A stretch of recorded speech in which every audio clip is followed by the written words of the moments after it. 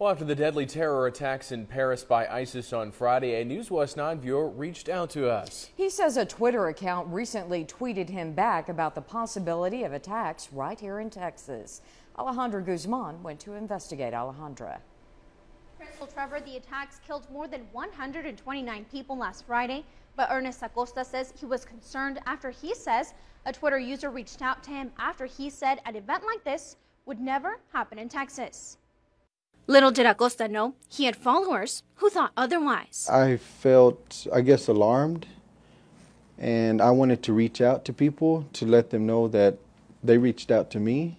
However, Acosta says he doesn't know whether or not the user behind the Twitter account is affiliated with ISIS. When we asked if he thought about responding, this was what he said.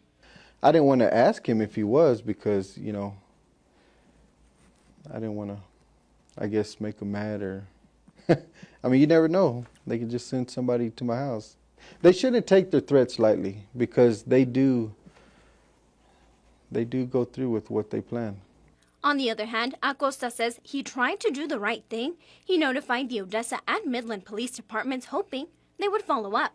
They can investigate him, his profile, and see where he's connected to. Maybe they can pinpoint where he's at or maybe, you know, arrest him. Maybe he's in the United States. Who knows? You know, I mean, because they don't take that lightly, you know, making threats. News West 9 reached out to local law enforcement agencies. They couldn't comment on the situation as this is a federal issue. News West 9 also reached out to the FBI officials in El Paso, but they have not gotten back to us. Alejandra Guzman, News West 9.